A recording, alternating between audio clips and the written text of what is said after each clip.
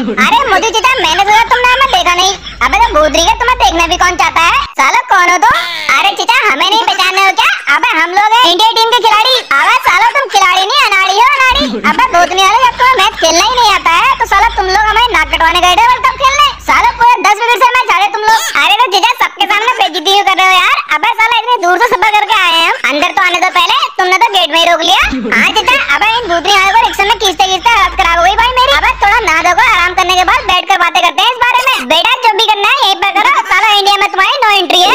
अरे चिता कैसी बात कर रहे हो? अबे इतना जुलम मत करो यार हमारे ऊपर। अबे साला हम अंदर नहीं आएँगे तो कहाँ जाएँगे फिर? तो बेटा ये सब कुछ तो तुम लोगों ने पहले सोचना था ना। साला हम लोगों ने इतनी उम्मीद से तुम्हें वर्ल्ड कप खेलने के लिए भेजा था। लेकिन तुम लोगों ने इंग्लैंड के सामने सरेंडर कर दिया अबे क्या सोचा था मोदी खुश होगा शाबाशी देगा।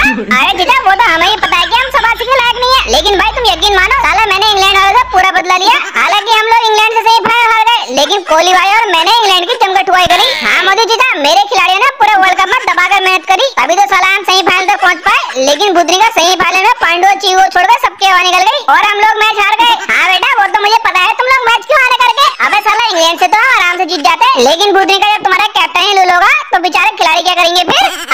अबे रोहित बुद्री के पहले तो मुझे ये बता तुझे कैप्टन किसने बना दिया? Oh, no. अबे जब तुझे यही नहीं पता है कि किस खिलाड़ी के सामने किस बॉलर को उतारना है। Oh. तो साला तू कप्तानी क्या करेगा? अबे जब तुझे पता है कि बटलर को चहल बीट करता है तो साला तूने उसको खिलाया नहीं। अय्यर इतने अच्छे फॉर्म में था तूने उसको बाहर बैठाया। और हमारा पाजी पावर प्ले में अच्छी बॉलिंग कराता है तूने उसको बॉलिंग नहीं दी। अबे साले तो मैच में करना क्या चाहता था। अरे चिता यार मैंने सोचा चहल को बाहर करके सीधा फाइनल खिलाऊँगा। क्योंकि यार मेरे पास अश्विन समी और उन्नीस ओवर का पनौती भुवनेश्वर भी था। लेकिन यार अंग्रेज़ों ने इन सब की दबा कर ठुकाई लगा दी हाँ तो साला ठुकाई तो तुम्हारे लगेगी अबे भुवनेश्वर तुझे पता है कि साला हर बार लुल करवाता है? फिर भी तुझे उसको मैच में ज़रूर खिलाना है। अबे तेरे चिता का लड़का है क्या वो? और साला इस बार तो तुम लोग उन्नीस सौ ओवर तक पहुँच ही नहीं पाए बे। अबे इस भूतनी वाले ने तुम्हें पहले पनौती लगा दी। साला जितने रन तुमने मिलजुल कर बीस ओवर में नहीं बनाए उतने तो उन्होंने सोलह में ही फेल दिए। वो भी बिना विकेट गवाए। अबे भूतनी के वो तो भलाओ पांडु और चीकू का। साला ये दोनों ने फिफ्टी फिफ्टी ठोक दी। नहीं तो साला अगर पांडु के तिरसठ रन और कोहली के पचास रन निकाल दे तो तुम भूतनी के लगभग पचास रन के आसपास ही निपट जाते। अरे तो चाचा मुझे और पांडु को तो अंदर आने दो फिर। पर उसका बार बार